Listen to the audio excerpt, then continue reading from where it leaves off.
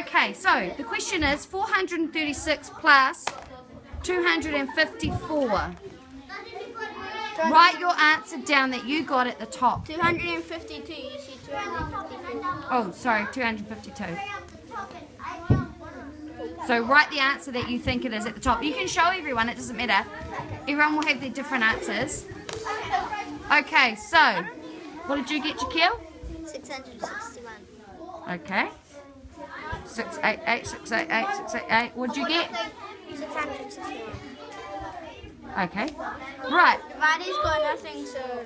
that's okay. What's Right. plus... Kendall, Kendall, can you show us on this whiteboard, using my whiteboard marker, how you would work it out?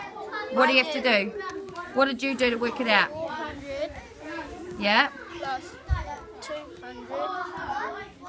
Can you tell us why you did 400 plus 200? Because I added the big, the big number and the smaller number. Okay, so you added the hundreds first. Yep. Okay, and then what did you do? I, and then I added it up and it equals 600. Okay.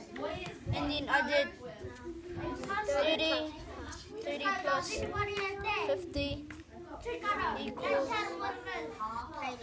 80. Yep. And then 6 plus 2 equals 8.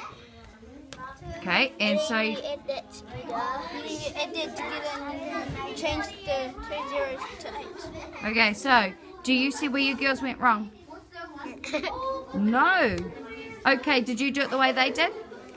I'm going to give you another question, and I want to see if you can use this strategy here to work out the answer. And Giovanni, I want you to give it a go this time.